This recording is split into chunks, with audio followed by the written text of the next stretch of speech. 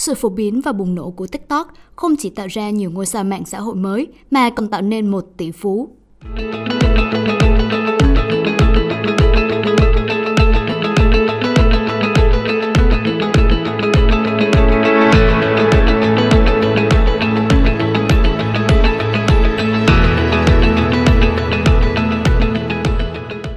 Làm giàu từ kinh doanh xin chào các bạn. Hôm nay, Làm giàu từ kinh doanh xin chia sẻ đến các bạn câu chuyện về tỷ phú người Trung Quốc mang tên Zhang Yiming. Ông chính là người sáng lập ra TikTok, mạng xã hội được giới trẻ yêu thích hiện nay. Zhang Yiming là người đồng sáng lập kiêm CEO của ByteDance, công ty mẹ của TikTok. Hiện nay sở hữu khối tài sản ròng khoảng 44,5 tỷ USD theo ước tính của Bloomberg. Là một trong những người giàu nhất Trung Quốc, nhưng chàng kỹ sư phần mềm 38 tuổi này sống khá kín tiếng. Sau khi nắm giữ quyền điều hành công ty gần 10 năm, Yang đã tuyên bố từ chức trong bối cảnh Trung Quốc siết chặt kiểm soát các tập đoàn công nghệ. Chang Yiming sinh năm 1983 tại tỉnh Phúc Kiến, Trung Quốc, trong một gia đình có bố mẹ làm công chức. Chang tốt nghiệp Đại học Nankai năm 2005. Ban đầu, ông theo học ngành vi điện tử nhưng sau đó chuyển sang công nghệ phần mềm. Công việc đầu tiên của Chang sau khi ra trường là tại một công ty startup đặt du lịch trực tuyến có tên Kusun. Ông cho rằng công việc đó đã dạy cho ông những kỹ năng bán hàng mà sau này ông đã sử dụng để phát triển ByteDance. Chang cũng từng làm việc tại Microsoft trước khi thành lập ByteDance. Theo Bloomberg, hiện tại ByteDance được định giá hơn 250 tỷ USD, trở thành công ty tư nhân có giá trị nhất trên thế giới. Sản phẩm đầu tiên của Chang và ByteDance là một ứng dụng tổng hợp tin tức có tên Tujiao Trang muốn tạo ra nền tảng tin tức sử dụng trí thông minh nhân tạo, đặc biệt với công cụ tìm kiếm Baidu của Trung Quốc. Mặc dù tập trung vào tin tức, năm 2017, Trang chia sẻ, ByteDance không có bất kỳ nhà báo nào trong đội ngũ nhân viên của mình như nhiều mạng xã hội khác. Điều quan trọng nhất là chúng tôi không phải là một doanh nghiệp tin tức. Chúng tôi giống như một doanh nghiệp tìm kiếm hoặc một nền tảng truyền thông xã hội.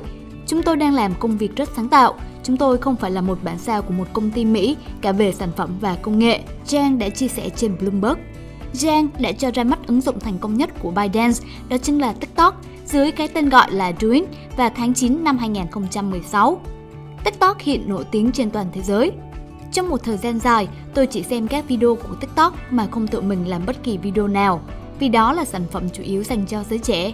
Nhưng sau đó, chúng tôi đã đưa ra yêu cầu bắt buộc tất cả các thành viên trong nhóm quản lý phải tạo video TikTok của riêng mình và phải giành được một số lượt thích nhất định. Những người không đạt phải thực hiện các động tác chống đẩy. Đó thực sự là một bước tiến lớn, ông Trang cho biết. Trang cũng bày tỏ mong muốn tiếp tục phát triển ứng dụng của mình ở nước ngoài. Hy vọng ByteDance sẽ trở thành ứng dụng không biên giới như Google.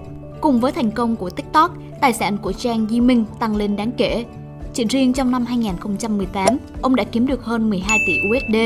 Phần lớn tài sản của Zhang đến từ 24% cổ phần của ông tại Binance. Forbes lần đầu tiên tuyên bố Zhang là tỷ phú vào tháng 3 năm 2018.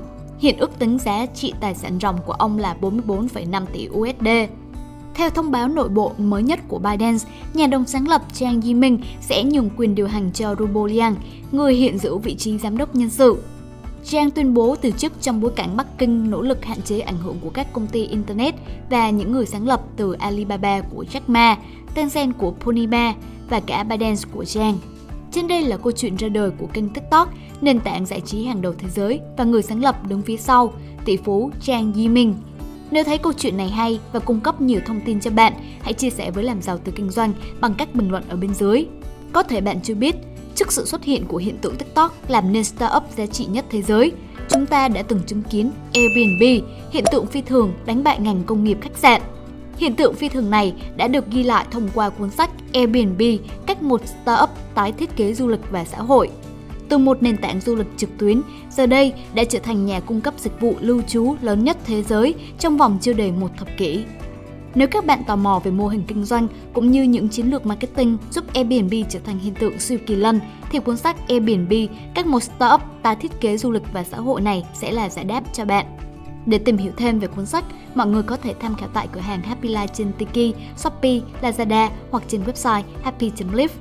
Nếu thấy video này hữu ích với bạn, hãy ấn like, share, đừng quên đăng ký kênh Làm giàu từ kinh doanh Ấn vào nút chuông thông báo cũng như theo dõi fanpage Làm giàu từ kinh doanh với chế độ yêu thích để là người sớm nhất cập nhật những thông tin mới nhất về lĩnh vực kinh doanh, bán hàng, marketing.